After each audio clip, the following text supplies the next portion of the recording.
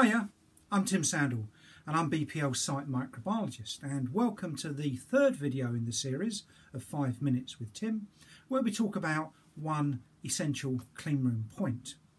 And the subject of this third video is about personal hygiene. So I'm going to make uh, three different points around personal hygiene and this video will last no longer than 5 minutes. So I know this is a slightly touchy subject but it's an important one for working in clean rooms. So the first point I want to make is about the health questionnaire that everyone fills out every time there's a shift handover, so around every four days of, of working. And this is completed by your shift manager or by your team leader with you. And here it's important that you do flag up any illnesses. If you have coughs or runny noses, stomach upsets and so on, then you must report these and in most cases you won't be allowed into the clean room until the condition has cleared up. You have to put on to some other duties. You also need to let your manager know if you've developed any chronic skin conditions like eczema, or if you have dandruff or any other scalp condition, or if you're suffering from any respiratory condition like wheezing. These are all big no's for clean room entry. The second point is that if you're on a course of antimicrobials or antibiotics, then you must let your manager know. And here the issue needs to be reviewed on a case by case basis. And this is because some pharmaceuticals will change the microbial balance in your body or on your skin. And this might either promote shedding and leading to high level of particles and bacteria being shed, or it might lead to an undesirable microbe outgrowing what we normally expect to find. And the gowning procedure may not be able to deal with excessive numbers of these organisms.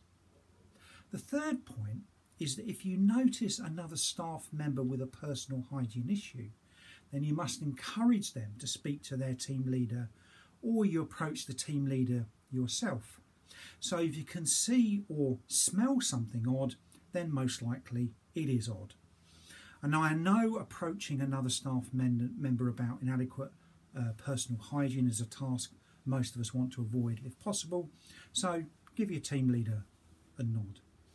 And it's important because the clean room gowning and routine disinfection protocols that we follow are all designed for best case scenarios and they may not be able to deal with lax personal hygiene issues. It's also important to make sure that your colleagues are not doing things like picking their noses as they're going through changing rooms or fiddling with their skin. Now, although this seems obvious etiquette, you can't assume that everyone's on the same page as you when it comes to good personal hygiene standards. It's also important that your fingernails are short and clean. False nails and long nails are both unhygienic and they're impractical for putting on your gloves or even the risk of tearing gloves. Also as a reminder, you mustn't wear makeup. Makeup significantly increases the number of particles that are shed from the skin by the thousandfold.